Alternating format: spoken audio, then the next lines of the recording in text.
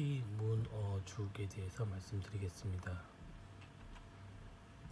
피문어를 물에 넣고 뭉근하게 오래 끓여 맛이 잘 우러났을 때 쌀을 넣고 쓴 죽을 피문어죽이라고 합니다.